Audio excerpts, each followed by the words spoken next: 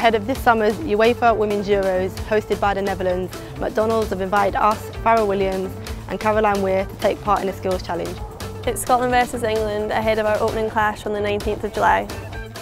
Route to the final. Each player has five attempts to score from 15, 25, 35 and 45 yards. Piece of cake.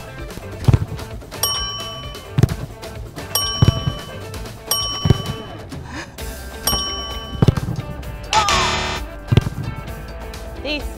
Yes. Oh!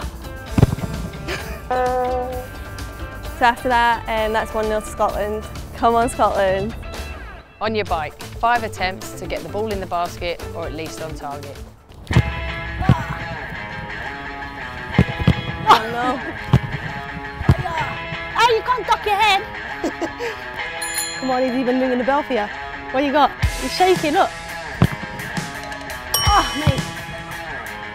I got closest to the basket by hitting the bike, so I see it as 1-1, England-Scotland. The Great Cheese Challenge. Each player has five attempts to hit the cheese. The smaller the cheese, the greater the points.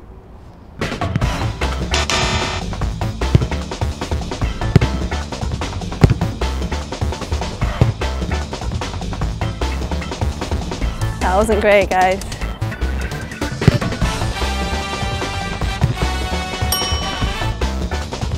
Does that one count?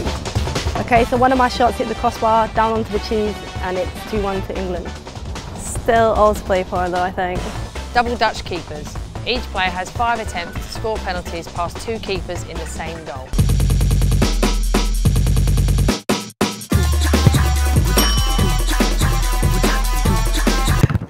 What a save!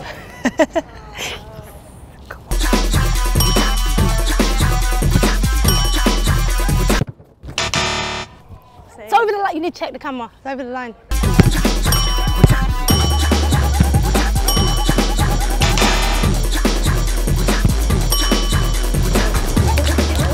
So I've just won the penalties and it's 2 all, uh, so we're going into our final challenge now.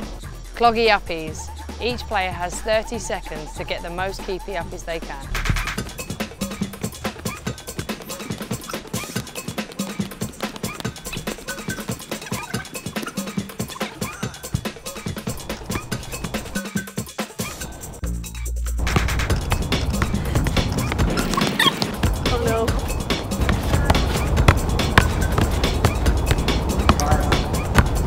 Game Hannah, but Scotland came out on top.